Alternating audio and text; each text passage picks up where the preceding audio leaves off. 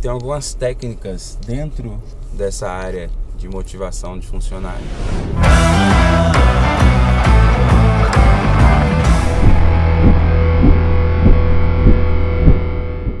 Bom dia, bom dia, bom dia, povo de Deus. Como vocês estão hoje? É, gravando. Vou aproveitar agora assim. É, peguei uma mãe aqui, né? Achei um horário pra gente conseguir gravar alguns videozinhos. E é o que? É quando eu tô indo pra empresa, quando eu tô voltando da empresa, que eu tenho uns 10 minutos no trânsito aí, que dá pra gente responder algumas dúvidas que as pessoas vão deixando lá. E dentre as várias perguntas que eu recebi lá no Instagram lá, teve uma pergunta que foi bastante interessante e que tem uma resposta que pode contribuir muito para o sucesso do seu negócio, que é o que? É, como manter seus funcionários motivados, né? Como motivar os funcionários. Então, é, eu tenho algumas técnicas dentro dessa área de motivação de funcionário. Tá? É, uma delas, por exemplo, é a técnica sanduíche. Você já ouviu falar da técnica sanduíche? A técnica sanduíche é basicamente pensa num sanduíche assim, um pão, um bife e um pão. Só um sanduíche simples assim, né? O que, que, que, que é que eu, que eu quero dizer com sanduíche, né? Gordo de comida, você sabe, né, gente? Mas assim, a pegada é, pensa assim, funcionário pisou na bola, precisa dar uma bronca nele, tá? Tem dois tipos de patrão. O patrão que chega e já vai chegar e, pô, você errou, você tal, você é incompetente, você fez isso, blá, blá, blá. Isso funciona? Funciona. O funcionário vai te odiar pro resto da vida. E provavelmente ele vai fazer com má vontade da próxima. Eu utilizo sempre da técnica sanduíche, que é o que? Chamo o colaborador em particular, que entenda o seguinte: broncas. Todo mundo tem que dar bronca, tá, gente? Todo mundo tem que chamar atenção. Mas entender o seguinte: chamar atenção sempre em particular ok? E elogio sempre em público. Por quê? Porque quando você elogia o funcionário em público, você enobrece ele, ele vai ficar motivado, ele vai ficar animado, ele vai, entendeu? Então, tipo assim, tudo vai mudar no, no, com ele. Agora, se você dá uma bronca nele na frente de todo mundo, ele vai se sentir constrangido, ele vai se sentir mal, ele vai sentir até que você. Ele, ele, ele pode se, até alegar que ele está sendo. É, me fugiu a palavra aqui agora, que tem uma palavra na lei aí que, que é até um, um crime, entendeu? Trabalhista. Ele pode se sentir. Sei lá, não lembrei a palavra, mas vocês sabem o que, que é.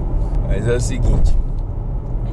Então, assim, é, a importância de você pegar e tratar ele muito bem o tempo todo. Tem alguns detalhes aí. Então, na técnica sanduíche, o funcionário só precisa tomar uma bronca. O que, que, eu, que, que eu faço? Chamo ele. Se, é eu, se, ele é, se ele é subordinado a mim, eu chamo ele. Porque a empresa também tem hierarquia, né? Então eu só falo com. Apesar de ter vários funcionários, eu só preciso falar com seis. Esses seis fala com, com, com a equipe deles e que falam com outros e que falam com outros e por aí vai. Se eu tiver que falar com um funcionário que está lá embaixo, é, eu vou estar passando por cima da autoridade do gerente que eu destinei e vou estar perdendo, esse gerente vai estar perdendo a autonomia dele. Então, assim, é, da mesma forma que o funcionário não pode sair, passar pelo gerente e vir querer falar direto comigo. Só caso o gerente esteja negligenciando alguma coisa. A técnica sanduíche ela, ela começa no elogio. Então primeiro eu tenho que falar algo bom. Então eu vou falar, cara, ó, você tá indo super bem nessa, nessa, nessa área, tá? É, isso aqui que você fez foi muito bacana, isso aqui que você tem feito foi legal, tem trago bons resultados para a empresa, etc e tal. Aí entra a parte do meio do sanduíche. No entanto, você está tendo muita dificuldade nessa área aqui. Isso aqui está prejudicando a empresa, está prejudicando seus colaboradores, está prejudicando você. Então assim, eu preciso que você resolva essa área aqui, tá, tá, tá, tá, tá. tá. Se você quer ajuda para resolver, se você não, não sabe como resolver, você pode falar com um psicólogo, você pode falar comigo, eu vou te ajudar, vamos resolver essa situação aqui. E eu termino falando de um novo elogio, tá? Ou seja, enobrecendo novamente. Então, quanto a isso aqui, é, é aí, aí, volta pro elogio. Então, tipo assim, mas você está indo muito bem, você está progredindo bastante. Nós não precisamos comparar você com outra pessoa, a gente tem que comparar você com você mesmo há X meses atrás. Então, quando a gente põe na balança e compara você com você há um mês atrás, houve evolução. Então, você está no caminho certo, você, tá, tá, você só precisa melhorar isso, isso, isso. Aí você pontua final e tal. O funcionário vai sair motivado, o funcionário vai sair respeitado e te respeitando, entendeu? Isso é bacana. Se isso aí, para quando eu preciso dar uma bronca. Agora, uma coisa boba, boba, boba, tá? Que motiva os funcionários e que a maioria dos empresários não fazem. Tratar com respeito e dignidade. Vocês têm que entender o seguinte: primeiro, o Partido dos Trabalhadores, que esteve no governo nos últimos trocentos anos, eles demonizaram os patrões, né? É, trabalhador é um coitadinho e tal, tal, tal, e o patrão é um bandido. Eu nunca tive um processo trabalhista, tá? Inclusive, assim, houve um caso de uma funcionária que o chefe dela é, fez merda, né? gritou com ela na frente de outros colaboradores. Essa pessoa pediu demissão, ela iria processar a empresa, só que ela falou, ela falou, eu não processarei a empresa por causa do Kaiser, porque eu conheço o Kaiser. Então assim, quando eu tomei ciência do que aconteceu, eu mandei embora foi o chefe. E ela, como já tinha saído, infelizmente, ficou fora. Só que ela ficou com a porta aberta. A hora que ela quisesse voltar, ela poderia voltar, entendeu? Por causa disso. Então assim, é tratar as pessoas como você gostaria de ser tratado. Uma coisa, um exemplo básico, por exemplo, na minha empresa, no, no setor de, de, de TI, setor de programação, eu gosto de trabalhar com MacBook, o MacBook Pro, Touch Bar, tal, última geração, com com um monitor curvo de 27 ou de 32 polegadas, etc e tal como que é a máquina dos meus funcionários de TI. MacBook Pro, Touch Bar, etc e tal, com monitor de 27 ou 32 polegadas de tela curva, etc. Então aquilo que eu tenho, o meu funcionário tem também. Ele também usa o mesmo maquinário, tá? É lógico que a gente não consegue fazer isso no começo. Mas tendo a capacidade, a capacidade de fazer isso, você não tem ideia o que isso vai fazer na mente do seu funcionário. Outra coisa, a lei nos exige bastante coisas, tá? Só que tem pequenas coisas que a lei não obriga. Por exemplo, a lei aqui não obriga eu dar a cesta básica para funcionário, nem vale alimentação, nem nem uma, é, basicamente é isso aí, né? Mas mesmo assim, o que, que a gente faz? A gente dá uma cesta básica, funcionário todo mês. É em forma de cesta básica mesmo, aquela bruta, aquelas grandonas.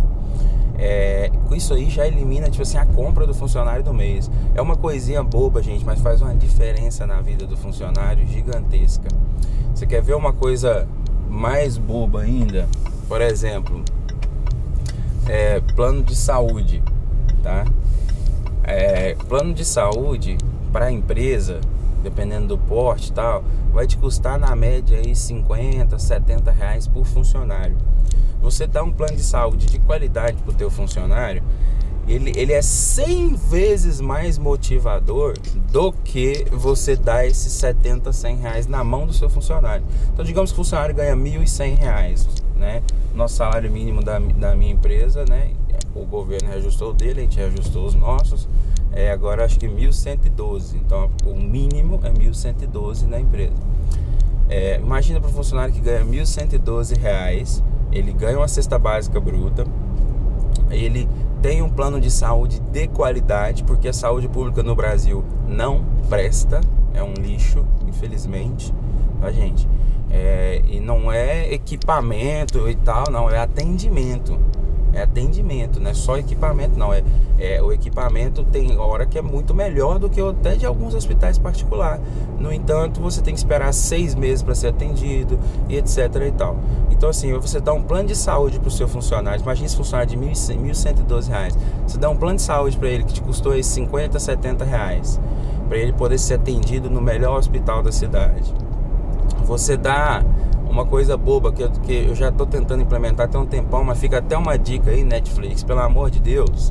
Cria um lugar para os empresários poderem comprar 50, 100, 200 contas da Netflix e dar de presente para os funcionários dele. Então, por exemplo, você imagina se dá para o seu funcionário o Netflix, o Spotify, que essa é uma ideia que eu já estou tentando implementar até um tempo, que é o que dá para os meus funcionários uma conta do Netflix e uma conta do Spotify paga pela empresa. Pô, o cara vai ouvir música e vai é, assistir tudo quanto é filme é, de graça, sem ter que pagar isso aí. Então assim, a gente vai pensando em coisinhas e pequenos benefícios que vai surpreendendo e que você pensa assim, ó, com 200 reais, tá? Com 200 reais por mês, você faz o funcionário vestir a camisa da sua empresa, assim, está totalmente motivado, lembrando que desde que ele não, é, desde que você não entregue esses 200 reais para ele em dinheiro, porque se você entregar em dinheiro ele não vai fazer nada com ele, ele nem vai se ver. Agora sim, é muito mais, o efeito é muito maior. Por exemplo, é igual o plano de saúde. Eu dar o plano de saúde, ah, vamos lá, dou um plano de saúde custou 70 reais porque é por causa do volume de funcionários. Beleza, agora você imagina que ao invés de eu dar o plano de saúde, eu eu, eu dou 70 reais para o funcionário. Quando ele pensar em sair daqui, quando ele pensar em alguma coisa, aí ele vai lembrar, por exemplo, poxa, é, mês tal, o, precisei ir para o hospital, meu filho precisou de alguma coisa e eu fiquei lá semanas e etc e tal. E para ser atendido e tal. E aqui não acontece isso. No caso, o funcionário ele tem o, o, plano de saúde, então ele tem a melhor cobertura, ele vai ser atendido no melhor hospital, etc e tal. E isso assim faz uma diferença gigantesca, porque se você der os 70 reais para o funcionário, ele não vai comprar o plano de saúde, ele vai gastar com alguma outra coisa. E no momento que ele precisar do plano de saúde, isso vai fazer total diferença para ele. Por isso a importância aí, por exemplo, desse, desse exemplo do, do plano de saúde. E no mais é o seguinte, tratar com muito, muito respeito mesmo, tá? Ninguém gosta de, de ser maltratado. Então a gente tem que tratar bem, tem que tratar a pessoa do jeito que nós gostaríamos de ser tratado, sempre com respeito, com dignidade, sempre deixando claro também o que, que você espera. É, quem já leu o livro Arte da Guerra, tem uma parte do livro que ele fala o seguinte que ele fala a respeito do, o, general lá, ele, ele fala com o imperador que ele consegue treinar qualquer exército, qualquer pessoa. O imperador fala assim, até um exército de concubinas, né? Eu tô resumindo aqui. Aí ele sim, até um exército de concubinas. Concubinas eram as amantes do rei, as mulheres do rei. Aí ele consigo. Aí ele falou assim, então vou te mandar aí um, um exército de, de concubinas para você treinar. Aí ele mandou. Aí ele colocou, enfileirou as mulheres tudo ali, as mulheres do rei e o, o, imperador tá lá assistindo e tal. E ele pegou e falou assim, ó, quando eu bato, você sabe o que é direita, esquerda? Explicou, para cá é direita, para cá é esquerda, para cá é... Ó, quando o tambor bater assim, vocês vão virar para direita. Ou melhor, quando eu falar direita, vocês vão virar para direita. Quando eu falar esquerda, vocês vão virar para esquerda. Tá? Tambor bater assim, vocês vão virar para direita. Tambor bater assim, vocês vão virar para esquerda. Aí o tambor, bum, bum. Aí as mulheres caiu tudo na risada, começaram a rir, tá, tá, tá, tá. Aí ele falou: se a ordem foi clara, se o, se o responsável, né, se o, se o oficial entendeu a ordem, a culpa. É, e se a ordem não foi clara e o oficial, que é o responsável, o líder, não entendeu a ordem, a culpa é do general, tá? Agora, se a ordem foi clara, o oficial entendeu, a culpa é do oficial, a culpa é do líder. E daí o que, que ele faz? Ele faz o teste de novo. Pá, pá, pá, pá, pá. Você entende? explicou de novo só para uma pessoa, só para o líder. Tá, tá, tá, tá, tá. Quando eu fizer assim, se eu fizer assim, fizer na frente de todo mundo. Aí ele pegou e pá, pá. Aí bateu o tambor, as mulheres caiu na gargalhada. Aí o que, que ele falou? Ok, vamos decapitar elas.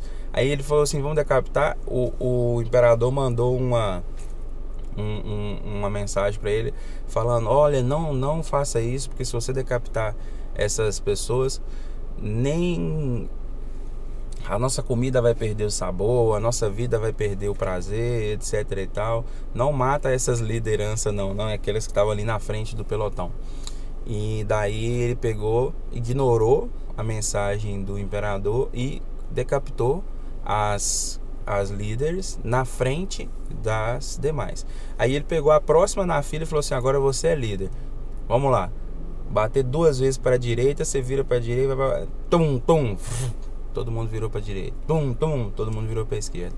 Entendeu? Então, tudo funcionou corretamente quando você corrige o líder. E como que a gente leva isso na empresa? Por exemplo, aqui na empresa eu sempre falo, o meu problema é sempre com o líder. Então, é, por exemplo, ah, tá tendo um problema no setor comercial, tá, tá, tá, tá, tá. Qual é o problema? De quem é o problema? Do líder do setor comercial.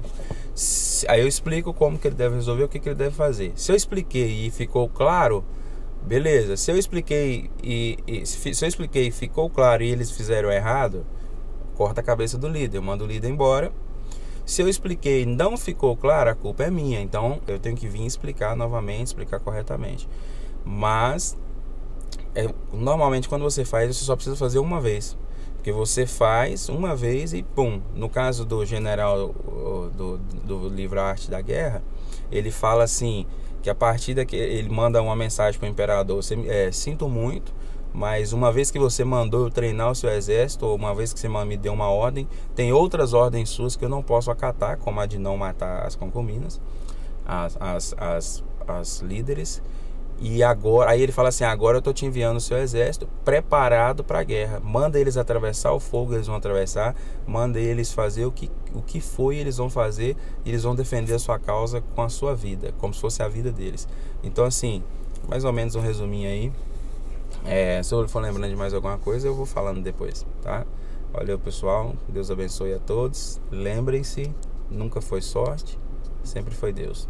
Beijo no coração e até mais.